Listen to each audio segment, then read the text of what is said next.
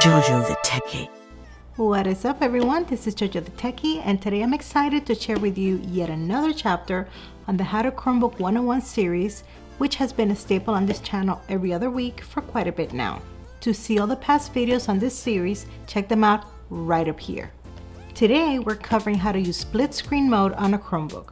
So if you have a larger screen connected to it, you can take advantage of that larger real estate by putting two app windows side by side. This is also possible in tablet mode and on the Chromebook screen itself, but you really need that larger screen in order to appreciate it. Now here's how you do it. So here I have two application windows open, one with Twitter and one with the Chrome browser.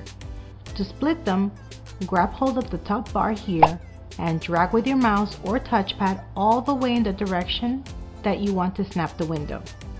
You can even do this with an individual Chrome tab. You will see an outline indicating to you where the window is about to be snapped. Once you have it where you want it, you can let go and the window will now be split.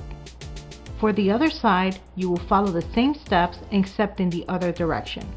Now, because in this case I actually have a second screen to the left, I can't use the drag and snap method I used on the right side because it will just continue and actually move to the next screen.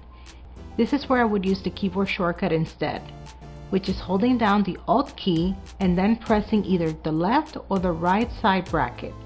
In this particular case, I want to snap the window to the left so I would use the left side bracket.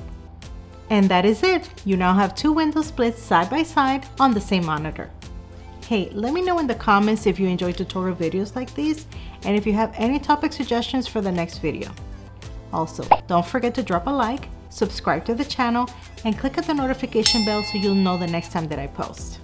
See you in the next one.